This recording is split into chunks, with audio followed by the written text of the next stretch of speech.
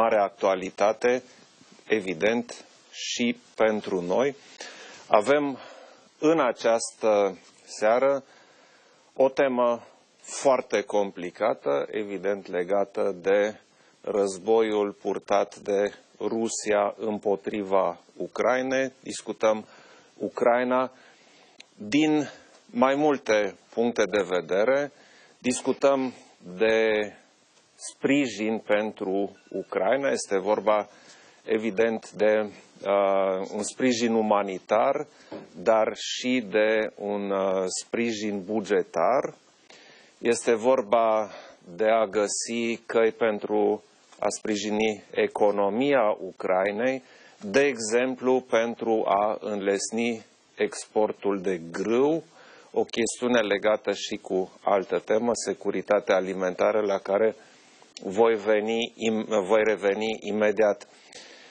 Este vorba însă și de deja aproape renumitul al șaselea pachet de sancțiuni, pachet de sancțiuni care aici la Bruxelles se discută deja de câteva săptămâni. Este vorba de un pachet de sancțiuni pe gaz și petrol.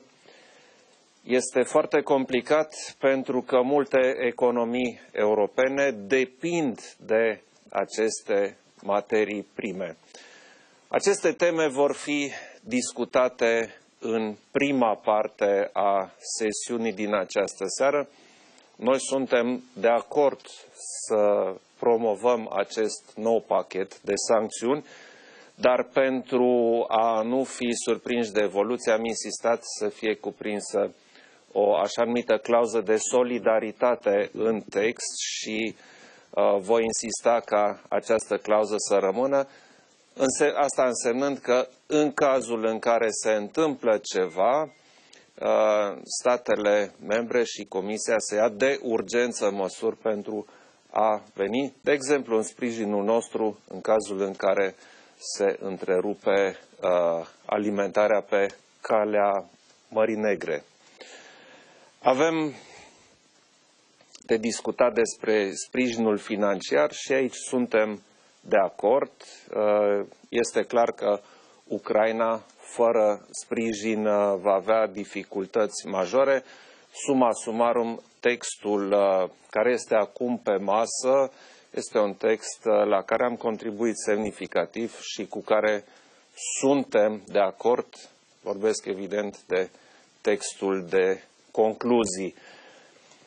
Avem în continuare o temă pe care am menționat-o deja, securitatea alimentară, prin evoluțiile economiilor în timpul acestui război nefericit purtat de Rusia împotriva Ucrainei, au apărut uh, sincope în lanțurile de uh, aprovizionare. Una din sincopele cele mai grave este legată de faptul că Ucraina, prin blocajul făcut la porturile din Marea Neagră, nu mai are posibilitatea de a exporta uh, uh, cereale, în special grâu, așa cum uh, ar trebui să se desfășoare.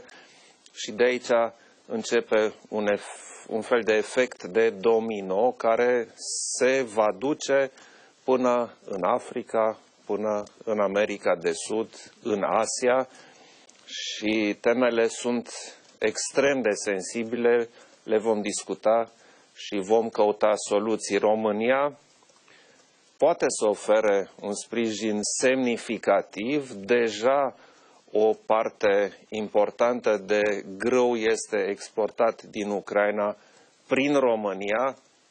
Cu ajutorul nostru sunt uh, multe scutiri pe care le acordăm și ajutoare semnificative pentru a înlesni această cale, însă trebuie făcut mult mai mult și la aceste chestiuni vom lucra împreună și le vom discuta.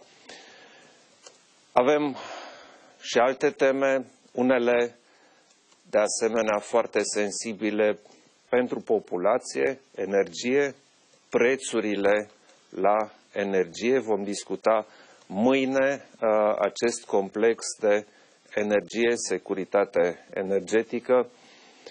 Trebuie să găsim soluții pentru a ne deconecta de resursele Federației Ruse, dar pe de altă parte pentru a menține prețurile la energie la un nivel competitiv și, în definitiv, la un nivel pe care oamenii îl pot plăti.